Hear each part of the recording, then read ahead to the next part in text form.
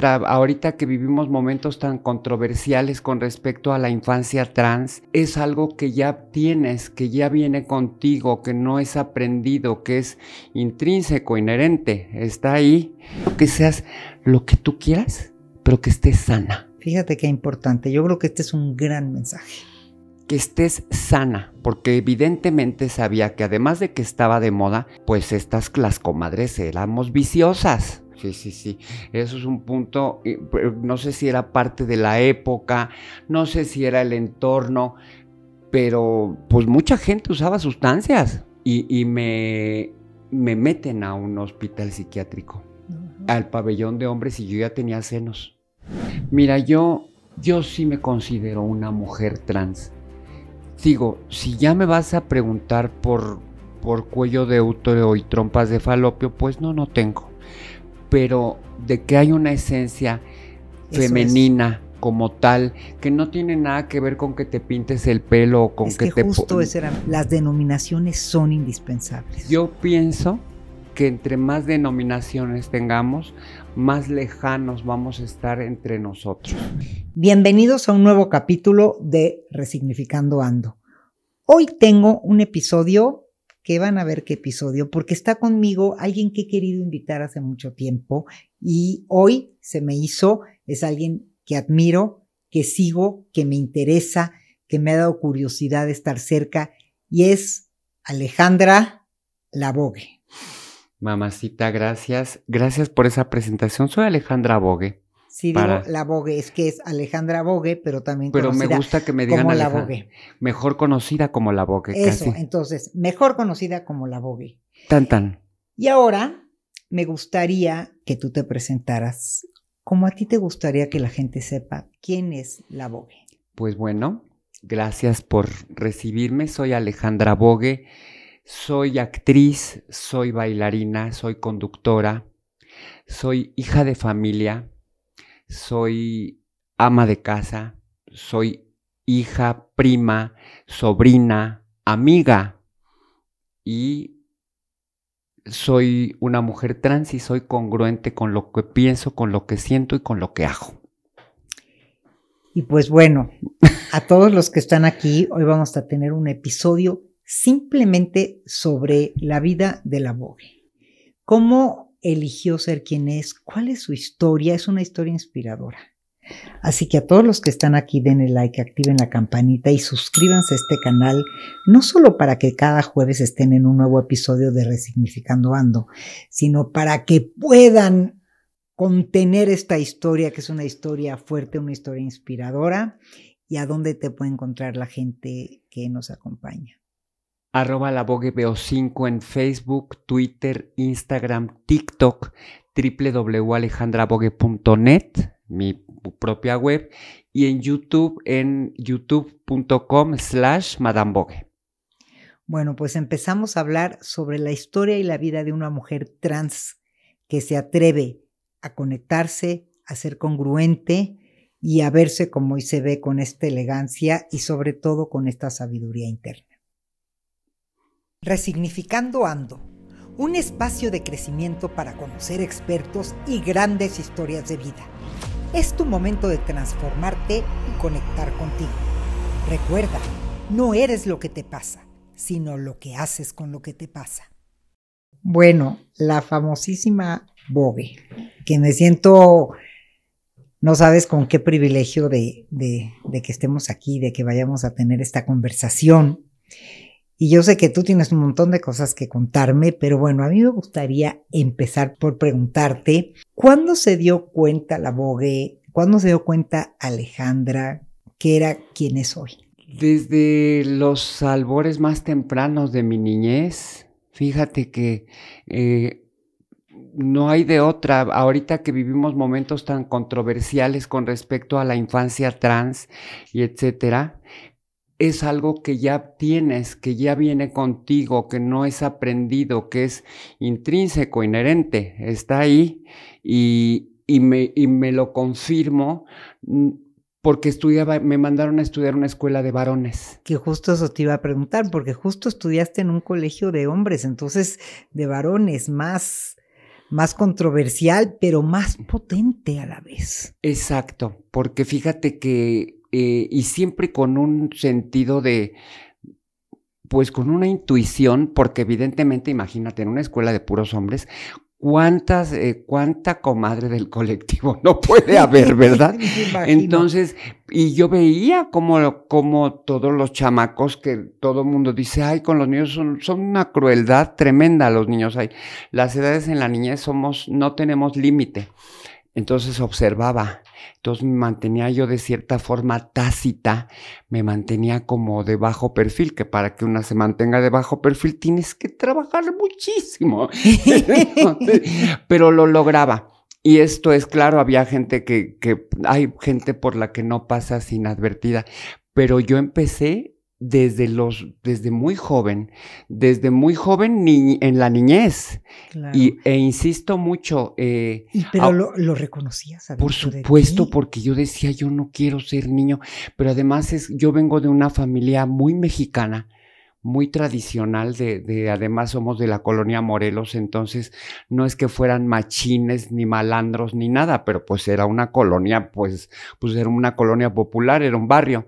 Entonces, pues no faltaba el, los tíos que pues siempre he sido muy querida por mi familia, afortunadamente bendigo esos momentos mm, por mi mamá, por mi abuela, por, porque además la gran familia mexicana enorme, ya sabes, primos, primas, tíos, tías.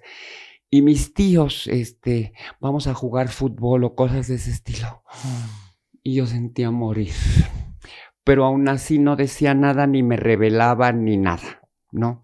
Siempre hasta Fluías con lo que esperaban de ti hasta ese momento. Hasta ese momento. ¿En qué edad más o menos estamos, hablando? Estamos hablando 5, 6, 7, 8 años nueve, porque de cierta forma hasta los momentos incómodos yo creo que los vivía más en la escuela que con mi, con mi familia, con mi casa, porque además mis primas y mis primos de mi generación, los con los que me tocaba jugar, ahora tuve la fortuna de todavía poder jugar a las traes, a las escondidas, a a estas cosas que ya ni de broma, mi amor, así que salgan los chamacos a jugar ni de broma.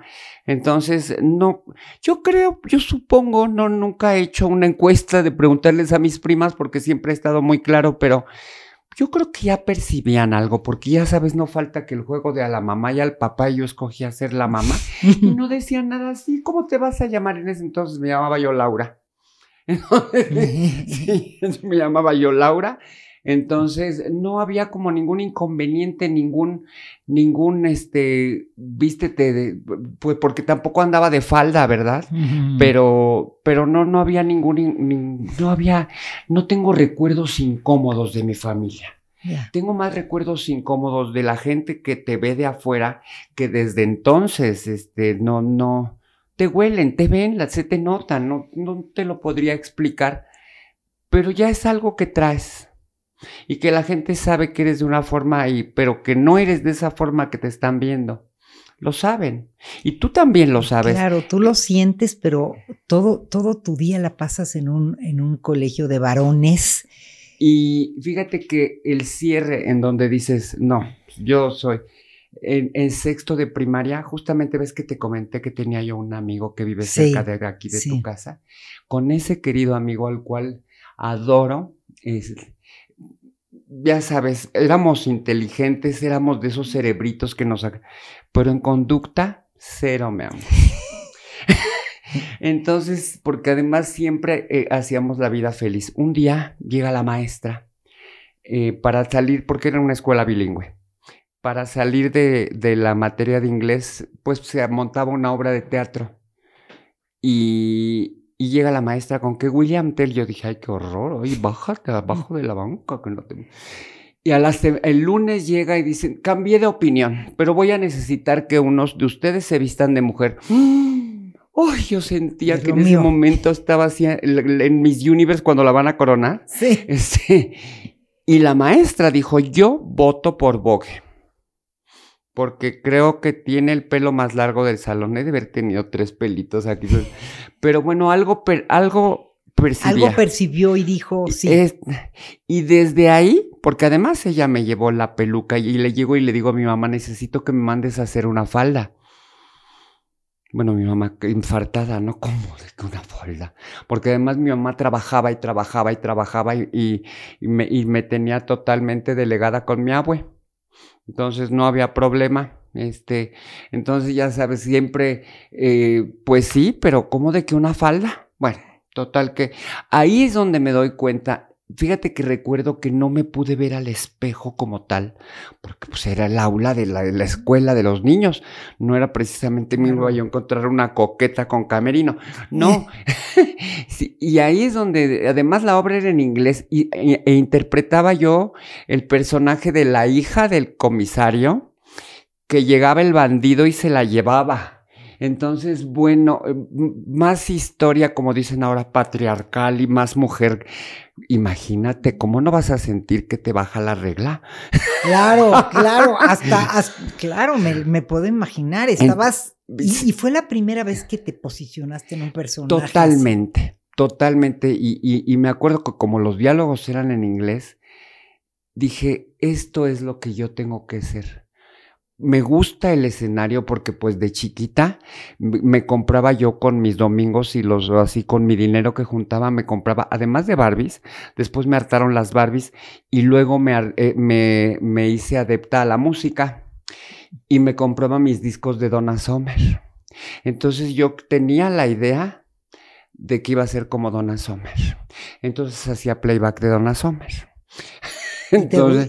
Y, te, gustaba la actuación además. Por supuesto. Entonces, mientras mi abue veía la barra de telenovelas, que era, yo soy generación telenovela definitivamente. O sea, sí, sí, sí. mientras, y como salía de la escuela, como era bilingüe, salía a las 3 de la tarde. Entonces era, comía en la escuela y ya después estar un poquito con la abue y yo a mi mundo, mientras mi mamá trabajaba. Y, y ahí te digo que ahí sí era, quería ser Donna Sommer, básicamente Donna Sommer. Curiosamente siempre quería ser las mujeres, las que no tienen nada que ver contigo, esa es la que yo quería ser. Entonces, cuando ya logro, pues digamos, consolidar, porque tampoco era algo que me esperara, ¿no? Eh, dije, esto es lo que yo tengo que ser. Ya, ya tenía, estaba entre 12, 13 años y por, por motivos de salud nos, nos tuvimos que ir a vivir porque vivíamos mi mamá, mi abuelo. Y por motivos de salud nos tuvimos que ir con su hermana mayor de mi mamá, que tenía puras hijas y un hijo. Entonces nos fuimos a vivir con ellas y ahí sí dije... Esto es lo mío y vámonos. Y ahí entré ya, le pedí que, a mi madre que me cambiara de escuela y sí me logró cambiar. Ya sabes, cuando crees que de la vida como si fueras rica millonaria, no es cierto. Mi mamá trabajó muchísimo. Entonces, para darme, para darme un poquito de lo que soy. Este, y me cambia a una escuela bilingüe muy cerca de eso, ya fue en la colonia y era Roma. mixta. Y era mixta. Que de hecho la, la el, asunto era que fuera mixto porque pues yo, no, yo ya me hacía mujer, ya casi, casi pensaba que me empezaría a crecer el busto por osmosis, ¿verdad? No sabía ni... Te, te, gustaba vestirte? Pues me gustaba vestirme, pero pues ahí sí ya empezaban los descontroles porque pues mi tía la como, hermana mayor de mi mamá, pues, este, bueno, ya sabes, y yo poniéndome las botas de las, de las primas o de mi mamá misma, ¿qué no ves que eso es de mujer? Pero tampoco llegábamos al, hasta... Al extremo. No, no, no, y como yo ya sí sabía y mi tía más, entonces me sacaba las botas en una mochilita y me las, ya me las ponía en la calle, ¿verdad? Entonces, ahí en secundaria es cuando conozco una amiga, la cual era un poco más grande que nosotros. O sea, nosotros teníamos 13 años, ella tendría 16, ya sabes. Y con ella, pues era una niña que ya iba al bandasha, eso, imagínate, a esas edades, mana. Entonces, así me acuerdo, porque además era mi gigante, ¿no? La niña con luces, así farra, fumaba y etcétera. Y era el bandasha, ay bueno, moría. yo quiero. El, sueño de todas, ¿no? Eso sí. Entonces, y que va a pasar por mi fulano y no sé cuántas cosas. Ay, bueno, yo yo quiero ser como ella. Entonces, me acuerdo que eh, en ese año, era, cursábamos primero de secundaria, ¿eh? Me acuerdo que en ese año, eh, ella, justamente por estas fechas, se, eh, para, pues, para yo creo que elevar sus niveles económicos, se fue a trabajar de temporada navideña a una boutique. En, pues éramos menos gente, había era la posibilidad de que te emplearan y que la gente realmente gastaba. Seguimos gastando igual, pero ahora ya es menos formal. Este, entonces yo la visitaba. Iba a ver a mi amiga y a, la, y a la encargada de la tienda, ella tenía un amigo muy gay. No voy a decir las palabras porque no me vayan a volver viral, güey. pero, mi comadre, ya sabes, hasta el sótano doblada, ¿no? la maritoña gay se hacía llamar, imagínate. La maritoña. y en aquella época. En aquella época que, además la, palabra gay casi te puedo decir que comenzaba. Por él supe la palabra gay. Yo decía gay, eh, ay, es lo nuevo, es de mucho mundo que ser gay. Y yo, ¿qué es gay? Pues es que antes se decía de ambiente. Y ahora es así, todas somos gays. Entonces yo decía, bueno, yo, claro, sí soy gay. Entonces eh, me acuerdo que ya después no era la visitada de, con mi amiga, era ir a ver a, a la maritoña. Y la maritoña me introdujo ya al mundo de las trans y de, lo voy a decir como era en aquel entonces de las vestidas y etcétera, etcétera. Porque no existía ni siquiera el término trans todavía. Estamos hablando, tú eres una mujer de vanguardia. Estamos hablando de que además así de que, y me hablaba mucho de una, de una mujer llamada Nana o que se hacía llamar Nana. Tienes que conocer a la Nana. Y porque la Nana esto y la Nana lo otro. Yo decía que pues oye este, no, no, sabía que tenía la posibilidad de llevarlo a cabo, de vivirlo, no sabía cómo, no sabía hacia quién me tenía que dirigir, no, pero no se me cerraba el, el mundo, sí, Pero sabes qué escucho y corrígeme si estoy mal, como que afuera estabas viviendo toda esta parte de tu identidad y en la casa no había tanto obstáculo, no había tanto, digamos, no te aplaudían, no te facilitaban, pero tampoco poco había mucha recriminación en casa. Así como lo estás diciendo, exacto. No me aplaudían y evidentemente como mi madre no presenciaba, eh, pero mi tía era estricta. Y, yo pero lo sabía, ¿no? sí, claro que lo super sabía.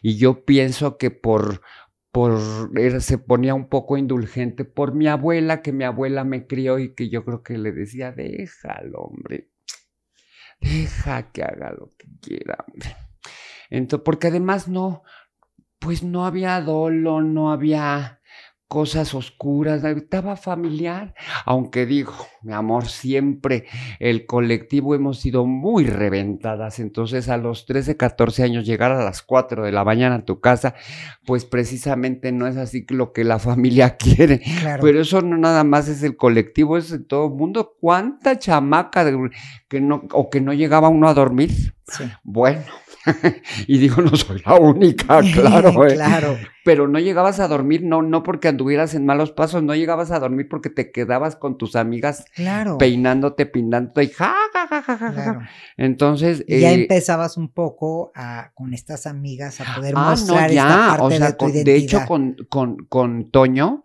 me, me fui al, al primer concurso al Miss Universo Gay que se celebró en lo que ahora es el World Trade Center, que era el Hotel de México y que hasta arriba era una disco padrísima.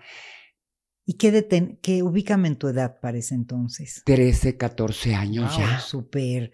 Bueno, pero a muy buena edad, a esta edad del despertar de toda la identidad, tú ya podías mostrarte. Clarísimo, ya el pelo estaba largo. Además, este, pues siempre te puedo decir, es que de, pronto la palabra andrógino ya tiene tantas vertientes, pero sí me, digamos que sí me veía como femenina, como niña. Me pintaba la boca de rojo ya con eso.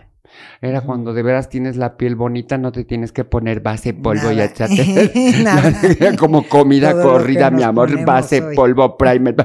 Este, no, entonces realmente con una camisita, unos tacones que ya me compraba yo, así como sustituí los discos de Donna Sommer, me daba para comprarme mis zapatos o mi- Qué- con mi amiga del cinco y medio que calzaba, ¿no? Entonces ya me ponía los tacones de mi comadre. Entonces, pues llego, nunca se me va a olvidar el- la subida hasta al piso, no Al sé piso. qué. Y mm, te metes, bueno, yo además yo sentía que iba chava moderna, ¿no? Porque con un top que me logré comprar en la tienda, un top, un pedazo de resorte que además era lo más in, este, con una camisa, ya sabes, amarrada, el pantalón todavía medio de campana, tacón, la boca pintada de una peineta, disco. Y estas reinas, pues se nos subimos al elevador, parecía la cámara de gases, pero en muy buen sentido, de tantos perfumes. Claro, olores y tantos plumas colores. ataviadas perfectas, las uñas, las pestañas, el pelo no era peluca, eran sus cabellos, Claro. ¿no? Entonces, eso era lo que más me impactaba. Yo decía, son hombres, porque pues era, no me, me- le digo, me bajo todavía del elevador y le digo a Toño, son hombres, ay, mana, todas, hombre, todas. Me tenían impactada. Entonces, esa noche, eh, después de todas un despliegue de glamour, bueno, yo me sentía la que te cuelga la ropa, corazón. Y sientes que fue como tu, tu apertura más grande a este mundo trans. Totalmente, porque Ese además momento, ¿no? ahí fue donde conocí a Nana. Me dice, Toño, entre fiesta, belleza, reinados, etcétera, etcétera, etcétera, mira, ella es Nana. Y volteo y veo una mujer larga, con una cara hermosa. Hermosa, esto es no, el parámetro de belleza que ahorita estamos acostumbrados a ver, es como siempre muy operada, muy hecha, muy construida. No, esa era la No, no, belleza no. natural. La belleza de esta mujer era de impacto. Muy poquito busto, pero con unas piernas, porque además andaba en leotardo y mallas negras. Espectaculares. Espectaculares. La perseguí, la perseguí y la perseguí porque yo, o sea, es que yo tengo la posibilidad de ella es, ¿no? Ella es como mi modelo, ella es. Totalmente. Entonces me acerco yo a ella eh, a decirle, oye, este, estás preciosa. Ay, muchas gracias.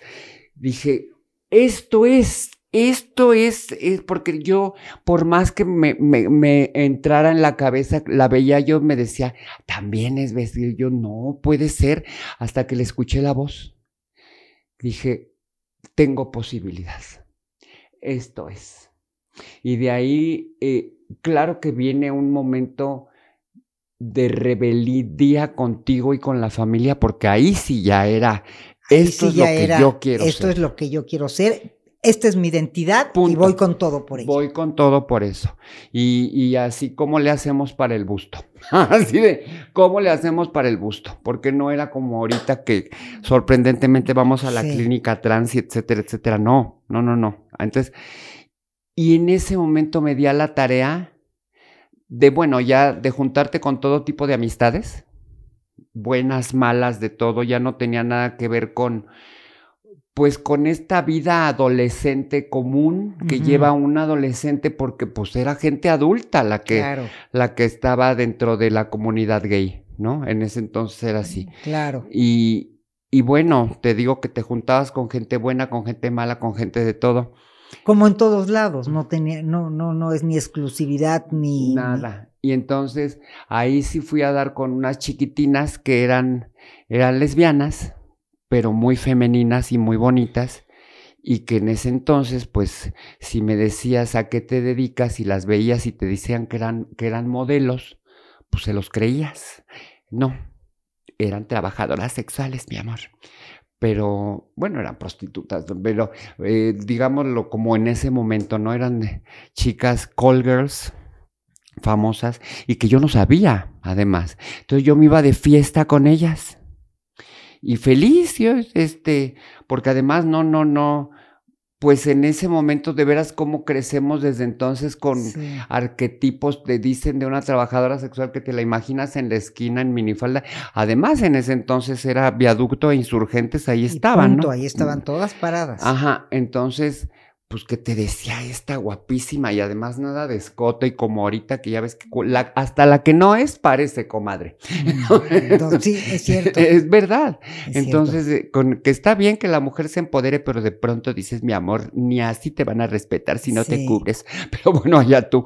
Entonces, eh, me voy a dar con ellas y ahí sí ya fue la rebelión total. Fue como la rebelión del despertar máximo. absolutamente. Y ya estabas en tus 17. Ya estaba yo en mis 16, en mis 15, descubro que en realidad este, trabajaban, entonces yo pues me parecía como algo muy común porque también Nana, que ya era yo, ya la perseguía y que también yo descubro, también Nana me había dicho que era modelo y la veías y se lo creías, pero en realidad pues tienes esa inocencia de los 14, 15. ¿Y qué pasaba paralelamente en tu ambiente, escuela, casa? ¿Ya había una aceptación No, total? No. porque las cosas se pusieron más ríspidas por el hecho de la fiesta, el reventón Sí. y la sonsacadera de la amiga de que vente para acá y dejabas a la familia aventada.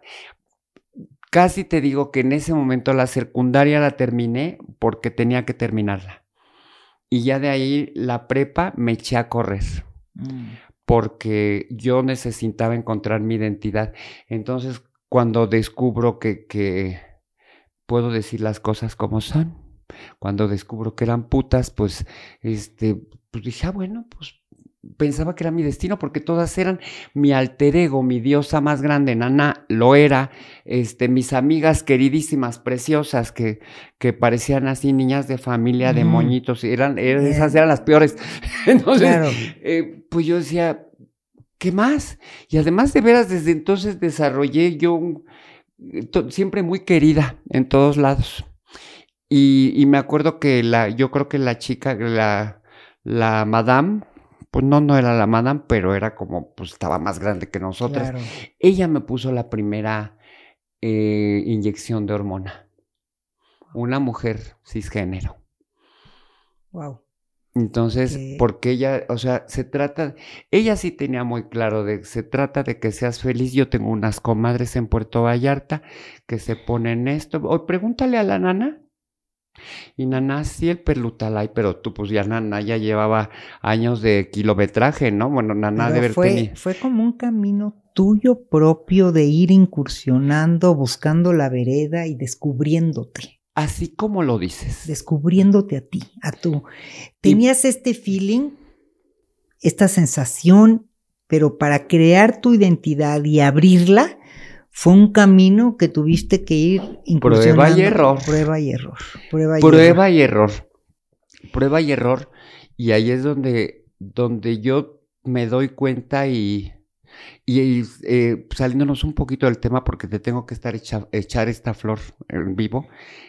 Ahí con esto que estás diciendo descubro que me gusta el comportamiento humano Mm, porque precisamente yo me construí así, bajo autodidacta, Claro. bajo mi propia experiencia Claro. bajo lo que ves y que, y que te lo pueden decir con manzanas, pero si tu corazón y tu intuición o como le quieras llamar sabes que no es correcto, dices, no, este me, está, ahí.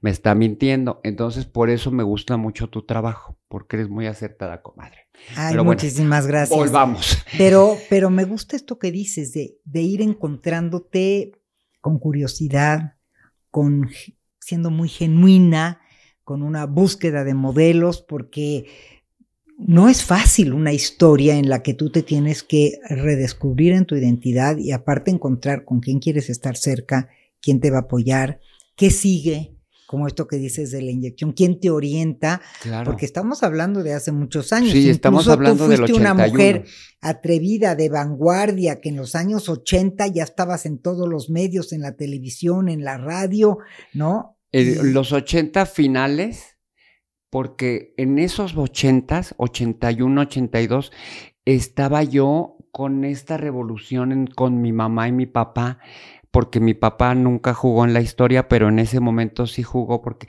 mi mamá es una mujer realmente, ay, maravillosa, es, es ejemplar.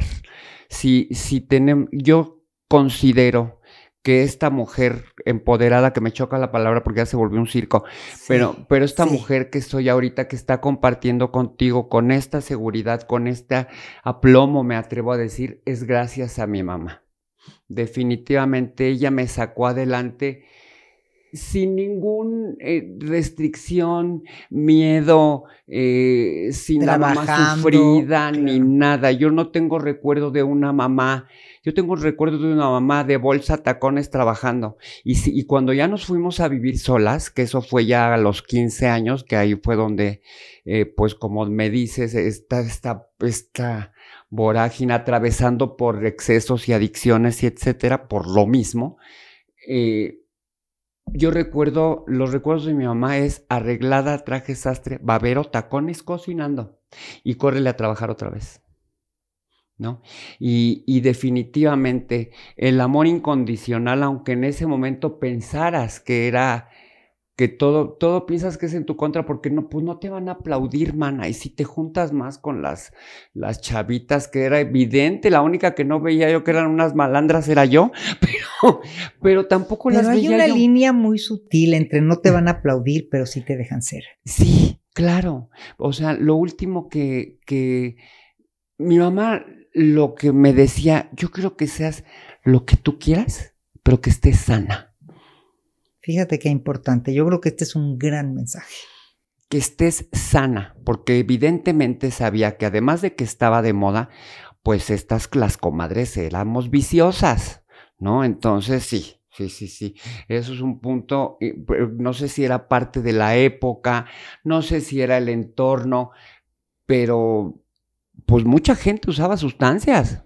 Era hasta como fashion ir a la disco y si no traías alguna droga encima, ay, qué poco mundo tenías, ¿no? Entonces éramos de ir al 9 y éramos de ir a cuánto lugar y con menores de edad.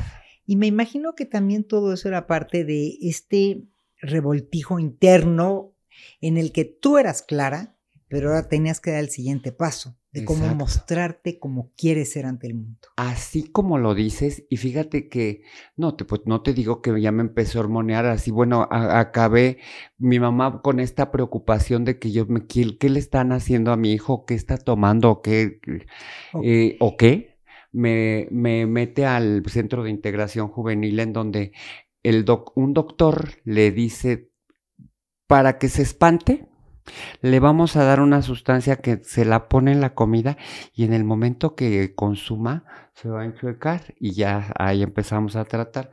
Pero como una ha sido intuitiva, por no decir mañosa desde chica, entonces en ese momento yo no me di cuenta de, eso como tal, sino que me di cuenta de que me daba mucho susto, no me quería volver a drogar o que tenía que tener mucho cuidado y, y me me meten a un hospital psiquiátrico, al pabellón de hombres y yo ya tenía senos. Entonces... ¿Y eso a qué edades? ¿A tus 16. Ah, 16. muy joven, muy sí, Muy, muy, muy, muy. Pero además... Pero ahí te meten no por tu identidad, sino porque, no, por, las drogas. Por la droga. No, no, no, no me meten por la identidad. Y la droga tenía un poco de sentido en tu vida como por esta... Em, no, sé, no sé si llamarle angustia, pero esta controversia quien tú ya sabías que eras y tu salida al mundo? Mira, muy probablemente, pero viéndolo a la distancia y siendo objetivas, creo que era, innecesaria. Nada más era estarle secundando a la gente o por hábito. No, si realmente ahorita como lo estoy viendo a la distancia y como lo estoy planteando, no, había era necesario. No era necesaria. Creo que nunca ha sido necesaria. Nunca, en ningún aspecto. Prefiero los litros de hormona que pasean por mi cuerpo, que con eso es suficiente. Y la realidad es que no tenía nada que ver. Porque, por ejemplo, para ya sacarme de ahí, para supuestamente haber aprendido el escarmiento, mi padre me dijo que me cortara el pelo. Uy, entonces era como, ahí sí sentí una mutilación. Ahí sí sentí. Porque el, pelo símbolo de sensualidad y más en ese momento, tu forma de diferenciarte era el pelo. Y, además, siempre por herencia, pelazo, comadre. La, claro. por la, ahora sí que por los dos lados, por mi papá y por mi mamá, más por mi mamá. Entonces me regreso a vivir a mi casa y pues no, evidentemente querían un varoncito, ¿no? Pero pues varoncito, pues sí Ya no había nada. No, ya no había nada, no, no, y, y por, no tenía ni siquiera unos zapatos así, no, no, están, podrían pasar por de mujer. Este, no, no tenía, no, no tenía nada que ver. Nada que ver. Nada. Tu, ya, tu identidad ya estaba totalmente consolidada. Exactamente. Y, si no la querían ver, ya era problema de ellos. Y fíjate que ahí la única eh, terapeuta, porque mi mamá en esta, en esta búsqueda insistente de, de mi propia salud, me encontré con una, con una psicóloga que me mandaba mi mamá, que, que nunca volví a saber de ella, pero fue la única que me dijo, ¿qué quieres? ¿Quieres ser fe? ¿Quieres ser mujer? Fue por su bolsa, sacó, maquillate y sé feliz, pero, pero no, que no te de, lo que no tienes que tener es miedo. Sí. Porque ahí sí ya, ya, ahí sí ya venía por encima la represión de la policía, ya, ya venían acompañados de una serie de cosas que pues no eran precisamente las más óptimas como por, cambiar de sexo o por ser tú misma, la gente, el, policía te agarraba en la calle y te trepaban a la patrulla. Eso sí lo viví desde siempre. Y te, y te trepaban la patrulla simplemente por... Para extorsionarte, para molestarte, para sacarte dinero, para porque a la cárcel nunca fui a dar, eso sucedió ya después, ya que me convertí en mujer, vienen cuando ya me empiezo a volver la estrella famosa del espectáculo. Y justamente eso te iba a preguntar, ¿qué salto tan grande el de volverte, porque fuiste una mujer de vanguardia, una mujer atrevida, de las primeras que se expuso, que se vio en radio y televisión. ¿Qué pasó en esos momentos en tu vida? Mira, comienzo eh, de entrada pues siempre persiguiendo como qué tipo de mujer, ¿no? Siempre yendo a los bares. Nana seguía con la sombra latente, importantísima, ¿no? Y más otras más, ¿no? Pero yo ya viví en mi casa, trabajaba en una tienda muy importante en su momento en Perisur, que duró años, siglos, décadas, este, apenas casi la acaban de cerrar. Este, y, y ahí, de hecho, mis patrones, porque ahí ya, ya se me habían bajado los senos porque no le di seguimiento.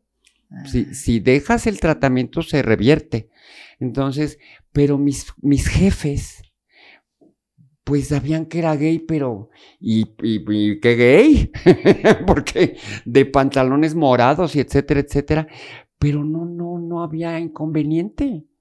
Trabajé, de hecho, tres años en. Y la gente que entraba a la tienda en la Ay, era yo un éxito. Era yo un éxito, mi amor, porque. Porque llamaba la, atención para que del Pedregal, todos los squinkles de las escuelas del Pedregal, este, todos iban a ver ahí una cosa que vendía y no sé qué eran, hombre, no sé qué espero, qué espectacular.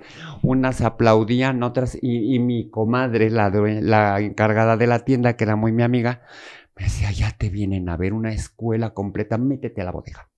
Métete a la bodega, ahorita te digo cuando salgas. Entonces, pero no había ningún inconveniente, ya, ahí sí, ya. Y, en esa época es cuando ya estabas en televisión o radio. No, no, no, no, esto fue antes. no, todo fue, que, eh, fue muy curioso porque mira, en mi carrera de televisión, radio, etcétera, teatro como tal, comienza en el 90. Ah, Pero empieza en el 90, primero empiezo haciendo teatro. Primero me voy a Acapulco, para no brincarnos, me voy a Acapulco con huyendo del terremoto del 85. y, pero para esto ya hacía oficialmente show travesti. Ya salía de Nina Hagen, de Annie Lennox, de puras extrañas como una misma. Este, Madonna, o sea, busqué todo tipo de mujeres. Porque te gustaba la actuación y desde niña se veía. Y además, imagínate, trabajaba yo en un lugar en donde por primera vez ya le permitían la entrada a travestis porque era de puros hombres. Y, y yo llevaba mis numeritos exóticos porque además imagínate, pues entre puras señoras Lupitas D'Alessios y esas cosas, yo salía de Nina Hagen en brasier negro, peluca blanca, la boca negra. O de Madonna, este que era, estaba en su pleno boom de Virgin Tour. Entonces hacía el numerito igual como en el video. Tal cual. Pero nunca estudiaste actuación. No, era algo Eso fue primero. Fíjate que mi, mi caso es muy, pues peculiar porque yo empecé primero con la experiencia y luego ya vino la técnica. Sí, sí, sí, sí. Y luego ya vino la técnica. Primero fue esta cosa que traías, ahora sí como dicen, en la sangre y mostraste esta pasión, esta aptitud y a raíz de lo ah. que te gustó, te metiste a estudiar. Así fue, pero eso ya fue porque ya trabajaba yo profesionalmente. Ya trabajaba yo profesionalmente. ¿Y, y cuántos años estuviste en todo esto de radio, teleactuación? Pues, pues mira, desde Acapulco regresé, no quería, pero siempre me regresé, no quería ya volver a saber del espectáculo porque en Acapulco regresé mujer, pero salí huyendo, este, y yo quería trabajar de lo que fuera y siempre me llamaba el espectáculo. Entonces me integro con una compañía de teatro importante de ese momento en el 9 que lo cierran en ese momento y voy a dar a, trabajar de como hostes a un lugar que se llamaba Bugambilia, que era pues un lugar en donde, bueno, era del, de Homero Bimer, del dueño de la, Fonda San Ángel, y pues Homero Bimer era un actor bohemio que conocidísimo en el arte, en el teatro y etcétera, y conocía yo otro tipo, ahí conocí lo que era pues el bel canto y etcétera, pues conocí a Regina Orozco, a Astrid Haddad, a Janet Macari, a Jaime López, a, mucha gente que te das cuenta que no todo era lo que veías en la tele, o tampoco no todo era Madonna. Y de ahí me descubren y me ven y me dicen, vente para acá porque este, fíjate que necesitamos una bailarina, no sé si sea, bueno, bailas muy bonito, necesitamos a alguien que baile como tú y que además tenga esa esa soltura, ¿no? Porque se te ve esta parte. Y de ahí es donde ya definitivamente me quedo haciendo teatro. Todavía no llegaba la tele. La tele oficialmente llegó hasta los 2000. Cuando yo deseaba estar en la televisión, pues no tenía el nivel. No, yo creo que hablo del nivel, no, no, no el nivel artístico, el nivel de colmillo para, para estar en este medio. ¿no? Para moverte en Para moverte. radio y tele llegan alrededor de los dos mil. Más o menos, pero ahí eh, en los 90 ya, después de haber, de hacer teatro en el sótano de arquitectura y de, de estar haciendo mi shima de Océano, porque además llegó a mi vida no cualquier cosa, llegaban los más intensos, Bertolt Brecht y puro escritor que yo decía, pero si mi cultura es de la revista de modas, mi amor. pero bueno, es lo que te tocaba y qué bueno, porque lo agradezco muchísimo porque finalmente la vida me colocó. Y ahí donde se empezaban a hacer entrevistas a, pues muy atrevidas a, a mujeres trans y etcétera, estaba Francis, la única que estaba así posesionada era Francis. Y dime algo, ¿es como las modas que de repente duran un rato y se van? ¿O, qué pasa con esta transición cuando después pasas? Digo, eres una mujer inspiradora y que inspiras a través de tus redes, de tus contenidos a muchísima gente, que me parece increíble lo que haces, pero esta transición de la televisión y esa parte dura poco, ¿qué pasa con esa parte? Mira, eh, por ejemplo, en el caso de Francis, ¿no? Yo la veía y ella estaba en un momento álgido.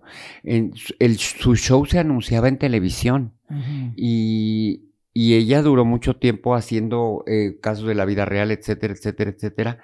Pero ya estaba muy bien posesionada. Y yo también es, esta, llega eh, mi oportunidad en el 2002. Okay ya en la televisión, después de haber hecho ya mucho trabajo de teatro y etcétera, y haberme, pero también fui cigarrera y también fui de todo, mi amor, porque no serví para trabajar sexualmente. Entonces, este, llega eso, pero ya llegó un momento, en un momento en donde a mí ya me habían premiado como actriz, etcétera, etcétera. Entonces ya, ya se me había subido el ego, ya me habían regresado a la tierra, ya todo. Y empiezo, y yo no, no era con la idea de, como ahorita se puede pensar que es una moda, más bien yo encontré mi lugar. Y mi vida me decían, porque además nos pagaban una miseria, corazón. Este, yo llevo todo.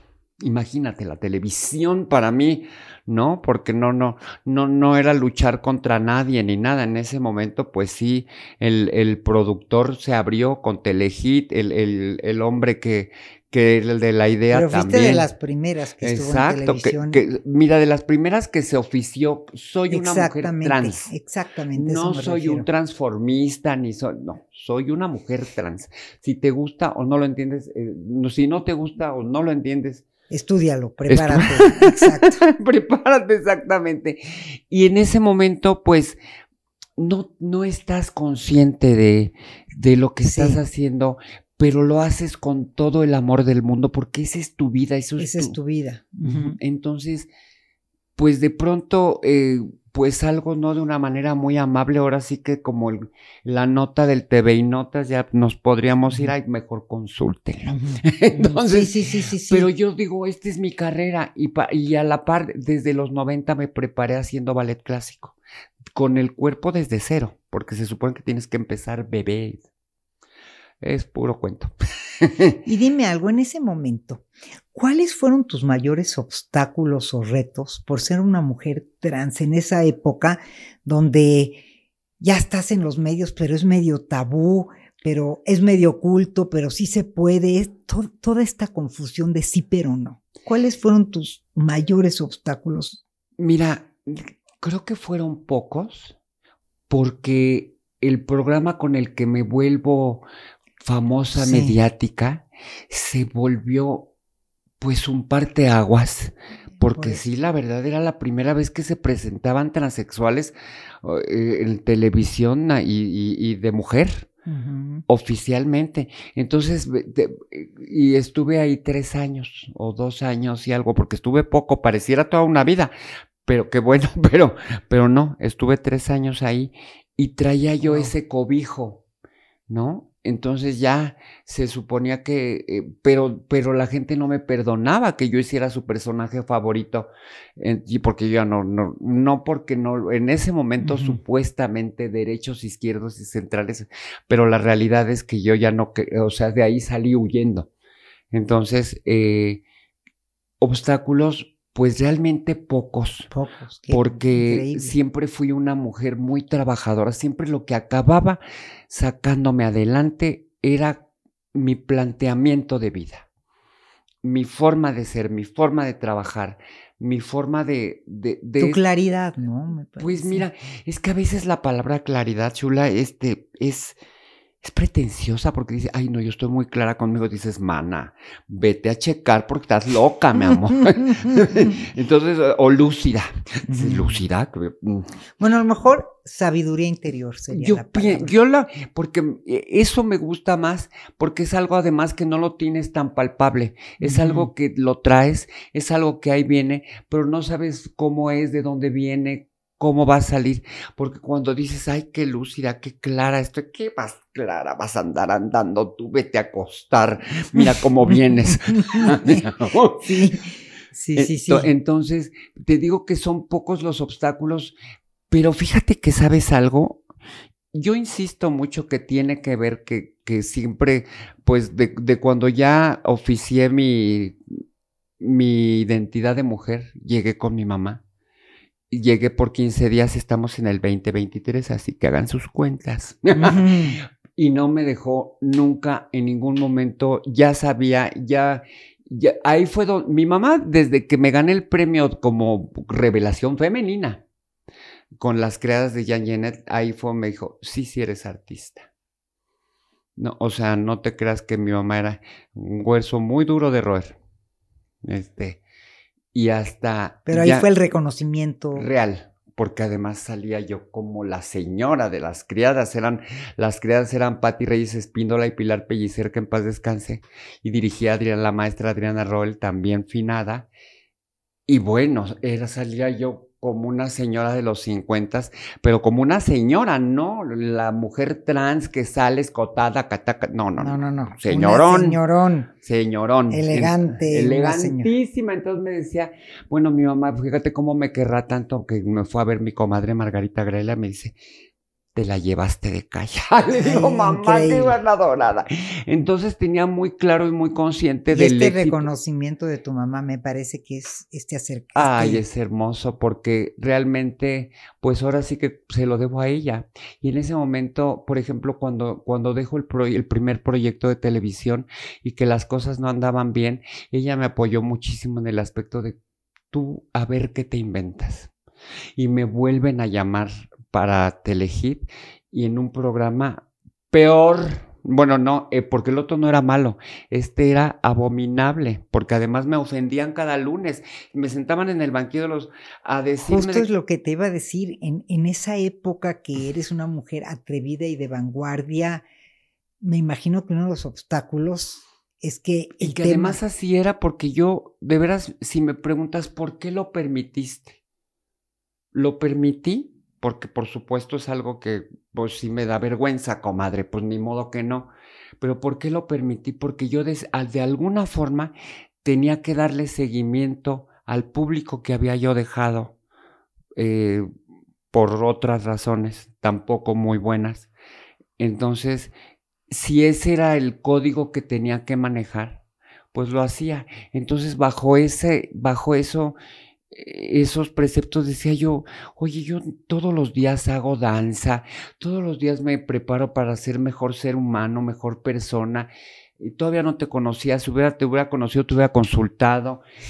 ¿Por qué estoy sentada en un programa donde me ofenden cada lunes? ¿Por qué? Eh, exacto. Porque, porque si estoy ahí lo estoy permitiendo. Exacto. Entonces le pido yo al productor del, del canal, este, le digo, oye, dame media hora para mí solita porque pues ya tenía yo la escuela, yo ya sabía lo cómo era de hacer televisión y ya sabía a dónde había que ir a pedir la requisición y a ver dónde aquí porque ya me había hecho comadre de toda la empresa entera. Entonces, este, porque también eh, digo, eso es algo que también traes, ¿no? Ese es el colmillo, el aprendizaje, pero también es algo como, como esta parte histriónica de, este carácter que se sabe conectar, que sabe con quién Eso que dices, qué bonito, ese carácter que se sabe conectar y conecté inmediatamente y le digo, tú déjame, no me des nada. qué raro que les digas, no, uy, te, te, aplauden.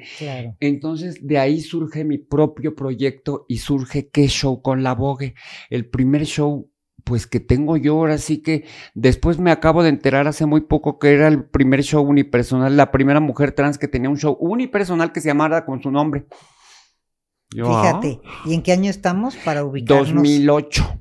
2007, 2008.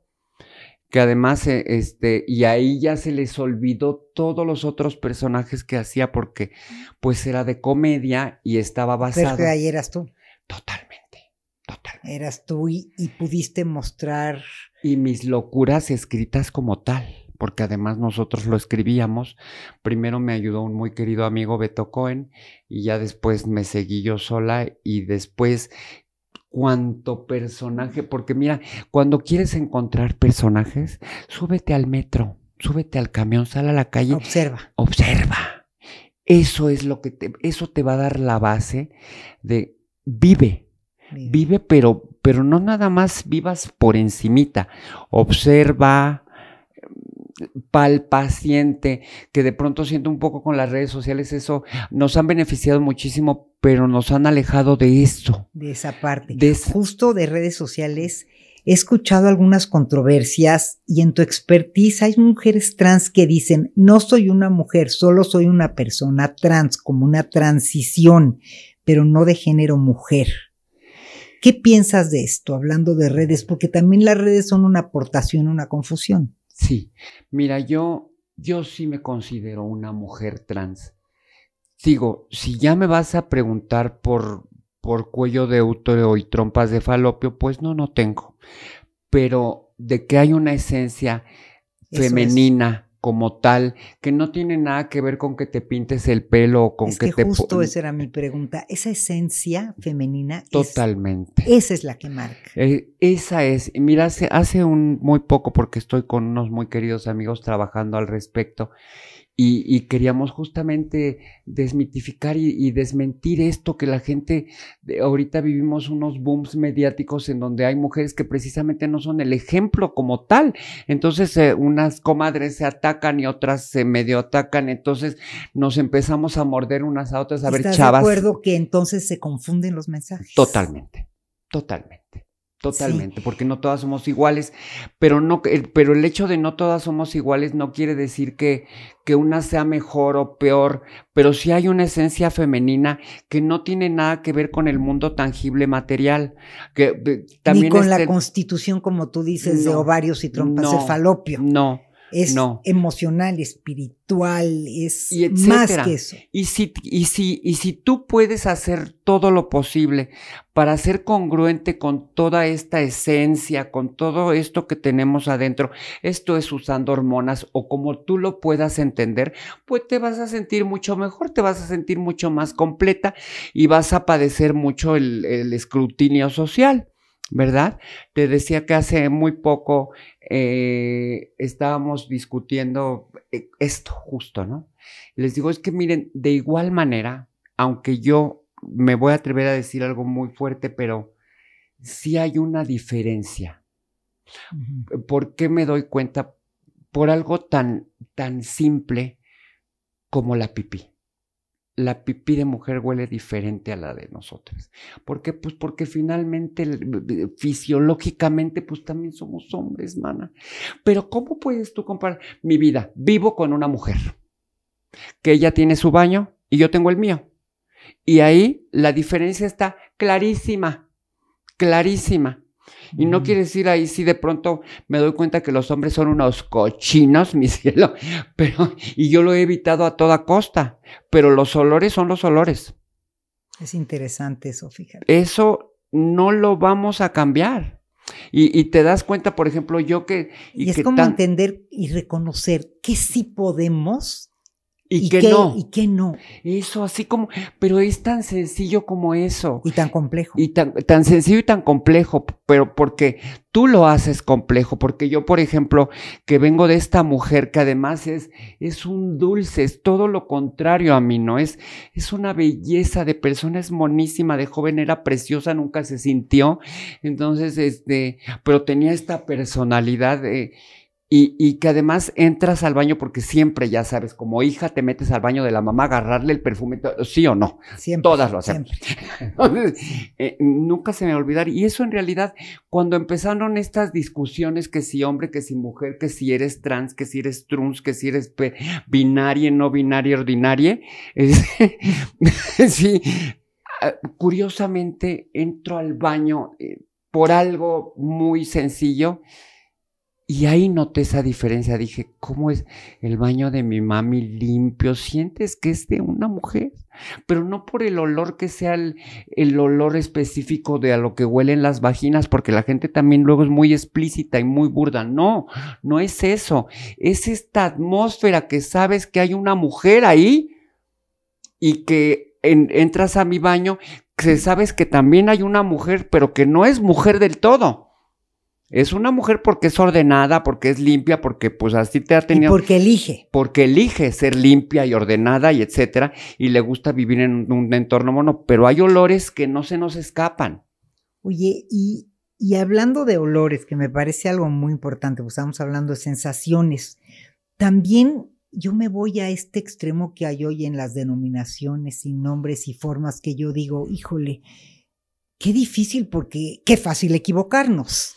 Y me hace, me hace pensar esto que siempre he pensado, que el ser humano no sabe más que cambiar en extremo, la ley del péndulo, cambia en extremo y hasta que llega al punto medio un péndulo hace los dibujos más bonitos. ¿Tú crees, con esta experiencia que tienes, que estos extremos de nombres, porque si yo quisiera presentar hola a todos, todes, tudis, tudis, yo, perdón, no puedo porque ni me los puedo memorizar ni, ni, ni creo que... Ni los comprendemos. Bueno, yo no los comprendo. No los comprendo.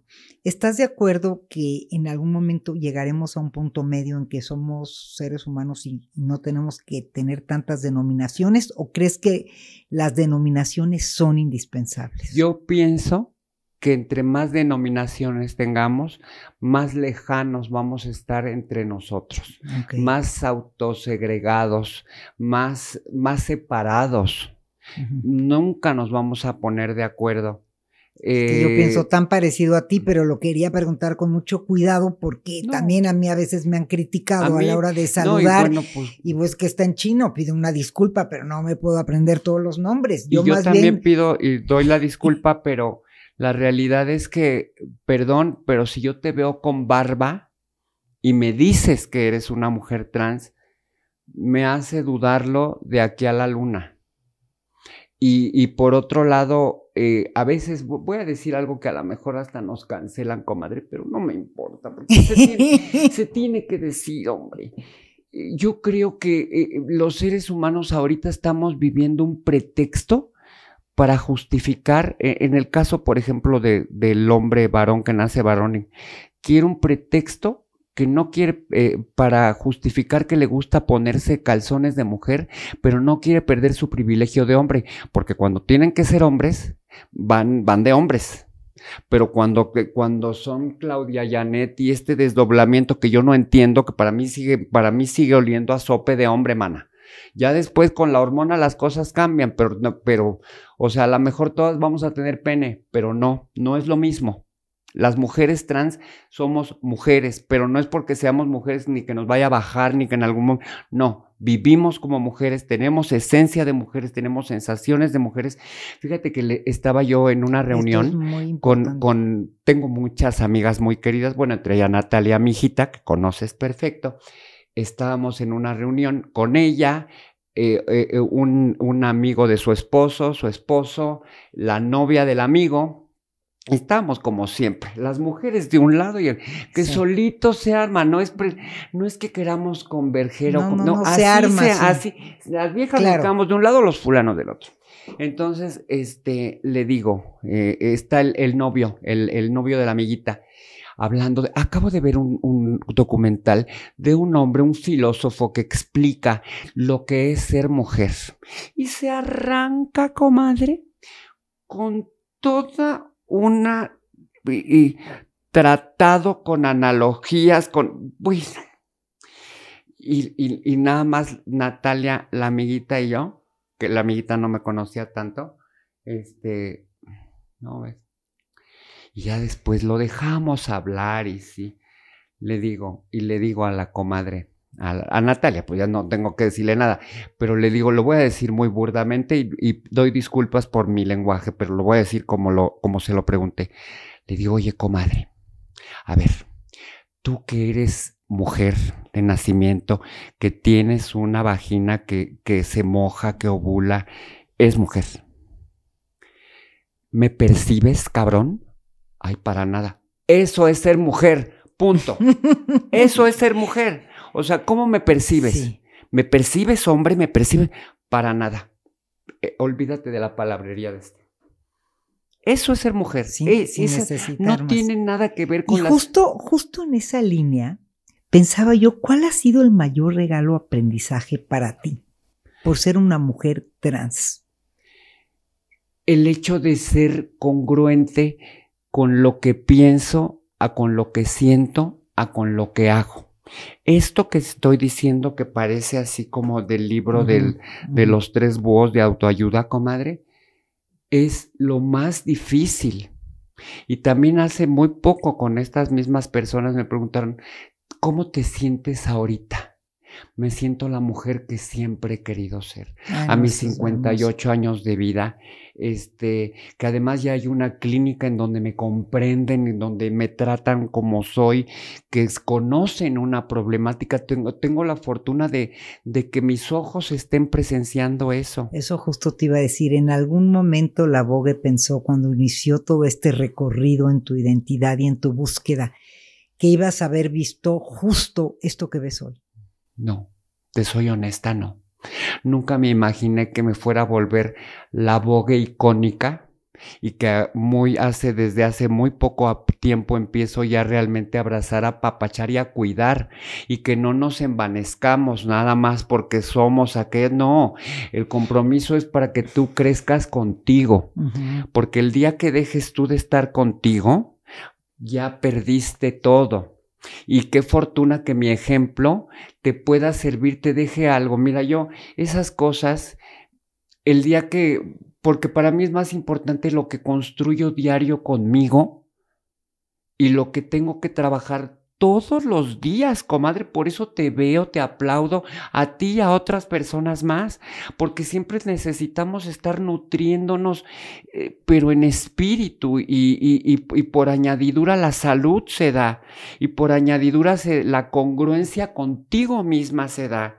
Eh, por añadidura eh, te diría que con el género que te identifiques, pero yo siento que la gente con, e, con esto del género que te identifiques, no, la gente se está haciendo bolas ellos solitos. Sí, porque no le veo así, mira, hace muy poco, lo voy a decir como es. Venía, fui a hacer un show con una amiga muy querida que estaba muy preocupada, mi comadre. Este, ella es lesbiana, este, no es una, pero se asume mujer, se llama fulana, este, y etcétera, pero sí es un poco masculina, ¿no? Yo le digo que es mi güerote. este, le di, y, me contrata y quiere, eh, ahora sí que soy amiga de ella desde hace 15 años, y su lugar tiene 15 años y cada año me lleva bocada dos. Entonces, bueno, pues soy además de amiga madrinísima, ¿no? me dice, oye, me gustaría que en tu show, que porque te echas tu monólogo, este, dijeras algo de, de, todas estas identidades, les digo, ay, comadre, puras borrachas, ¿cómo crees? ¿Tú crees que van a andar. No, es que la gente está muy agresiva. El otro día me dijeron que si era yo binaria, imagínate. Yo que soy Leticia, tu, tu güerote. Bueno, le digo, vamos a intentarlo. Entonces, en e, ese día, eh, me toca en el avión con, con un, muchacho que, que, iba también a hacer show. Muchacho guapito, así que dice, ay, mira qué guapo este. Pues yo soy la eh, fulana de tal. Y yo, ah, pues qué bueno. Y entonces llegamos a, porque esto es en Cancún, llegamos a Cancún, comadre. Pasan por nosotros al aeropuerto, yo venía con mi preciosa madre, este, y, y venían pues los dos muchachos que adelante, mi mamá y yo, y se nos poncha una llanta yendo hacia al hotel. Y dije, yo sé cambiar llantas, pero aquí los hombres son ustedes. Lo siento. Se me rompen. Porque si traigo, sí. cosa, les caí como patada de mula, ¿no? Porque, o sea, ¿qué pensabas, corazón? Que yo me iba a bajar, este, vengo de falda, ya, sí, notas que vengo de guarachitos. Entonces, bueno. Y ya, bueno, total, en ese momento no. Las funciones. Hasta, hasta, está sonando un poco agresivo, como lo estoy diciendo. No, no, no, no fue así. Les digo, si quieren, yo les ayudo, porque me acabo de hacer las uñas para el show de mañana, y pues va a ser que esté horrenda, ¿no? Bueno y empezamos, tocamos el tema de lo binario y no binario, ¿no? Y porque hablamos de cierto personaje de, en un programa que estuve, y, me, y, la conductora, Ay, es que ella es no binaria. Y le digo, corazón, ¿me puedes explicar? Perdóname mi ignorancia. Mira, tengo 38 años de vivir como mujer y todavía no logro entender el lenguaje inclusivo, pero ayúdame. Bueno, pues el no binario te mentiría si te digo exactamente qué me dijo, pero te identificas con hombre, pero eres mujer, pero... Y yo todavía me quedé... Eh".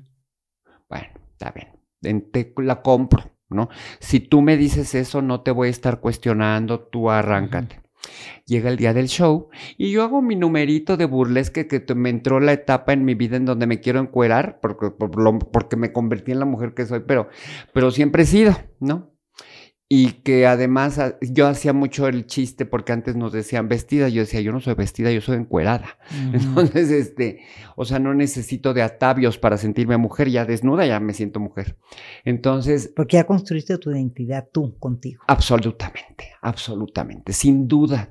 Es más, si me preguntas, este, ¿Qué pagas primero, el teléfono o las hormonas? Las hormonas. que me corten el teléfono. Eh, hay prioridades, que me cortes el teléfono. Este, entonces, eh, llega el día del show. Esta chica se arregla, es fabulosa, además es drag también, y ya me había dicho que era no binaria. No. Este, y, y todo, pero además me, de veras también me echó otro tratado con respecto al género. Y yo, bueno entonces, ya termina el show. Trato yo de darles el mensaje que me sale pésimo. Le digo, comadre, no me pongas a mí porque se me sale la bruja y parece que estoy regañando a la gente. No, no, no. Porque además sabes que no, y como hablo medio golpeadito, dicen, este, enojo. No, manas, no me he enojado. Tengo la voz importante, que no es lo mismo. me gusta. Entonces, este, termina el show estaba llenísimo, por supuesto, hago mi show, se me reconoce así de que, bueno, a, a las generaciones de antes, las que lucharon, etc. Yo dije, ay, no, la mejor manera de decirme anciana, mi cielo, pero bueno, no importa, porque además pues, la edad tampoco, al contrario, me encanta ser abuela y me encanta ser quien soy. Este, y, y, bueno, y, y, esta chica se arranca también con un discurso, porque nosotras las jóvenes binarias, y en eso, pues ya termina el show, pues vámonos a la fiesta, ¿no? Sí, pero ahorita regreso. Y yo, pues, ¿a dónde vas? ¿Cómo te ves preciosa? Vámonos. No, es que hay muchos hombres guapos y quiero ligar. Ah,